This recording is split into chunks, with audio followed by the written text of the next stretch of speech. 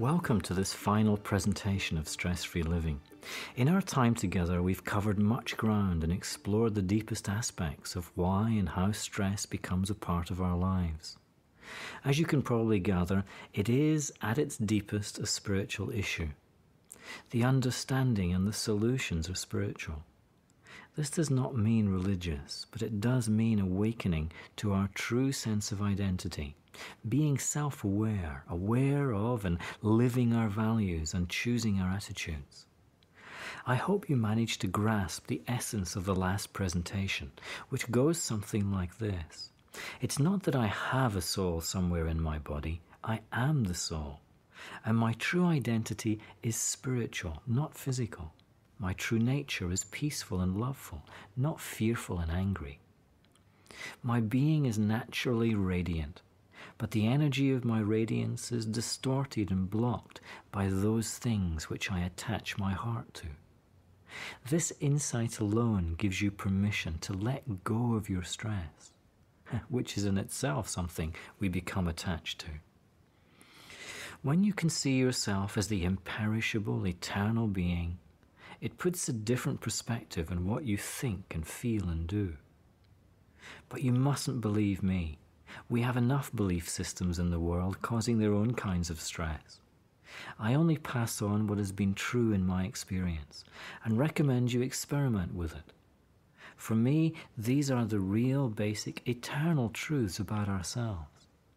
And while they may sound right at this moment, they are hard to retain and challenging to live within our day to day awareness and our day to day activities.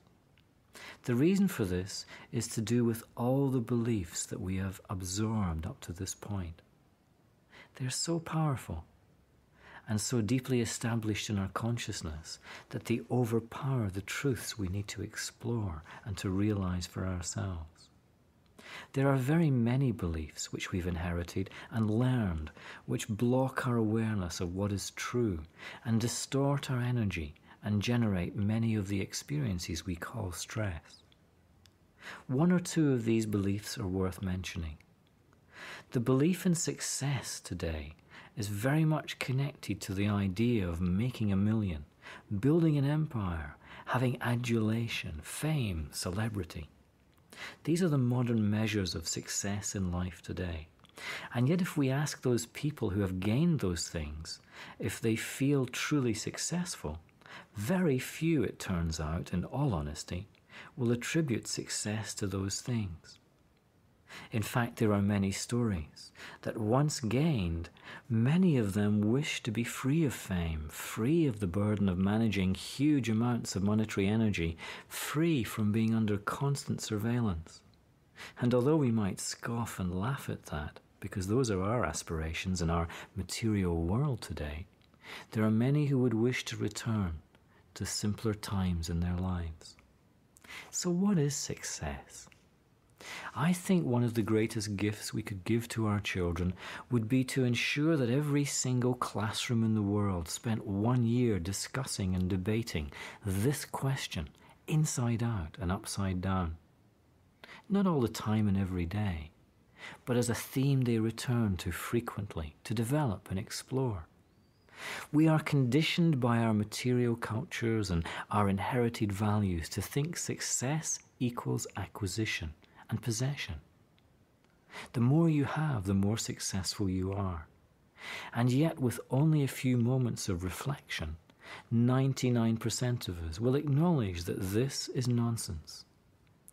If we were to give ourselves the time to explore this question, we would arrive at the fairly obvious insight that success is not a material thing, it is a state of being. Call it contentment, call it happiness, call it peace. These are the symptoms of success, but only when they're not dependent on anything outside ourselves.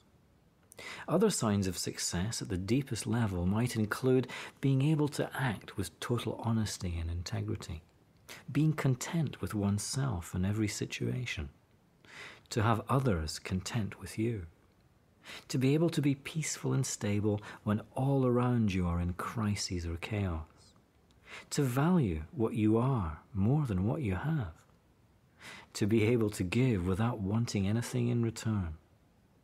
Success might be to accept full responsibility for all thoughts, feelings, words, and actions. It might be to be able to see past the weaknesses and mistakes of others and focus on their inherent goodness. Success might be to put thoughts and words into action without delay, or to be able to let go of the past instantly. Notice how intangible all these measures are. In fact, no one else can measure success in our lives except ourselves. But unless we can do all of these things, how on earth are we going to be content with ourselves? So these are the deepest measures of success. In fact, all wealth follows from these things. Another prevalent belief today especially when we are surrounded with such negative news in the media, is that some people are basically bad. And in fact, it seems that more and more people are just innately, basically, forever bad people. And in fact, this belief stops us from opening and connecting and sharing with other people. For this belief says that others cannot change, and we shouldn't hope, we shouldn't help, we shouldn't encourage them to change we might as well give up. For this is just the way they are, and the way they'll always be. And this is a killer belief in our relationships. It kills our motivation, our enthusiasm to build a relationship, and it destroys our compassion which lies in our heart for those who are in pain, because that's all negative behavior is an expression of their pain. We hope you enjoyed this preview. To continue listening to this audiobook on Google Play Books, use the link in the video description.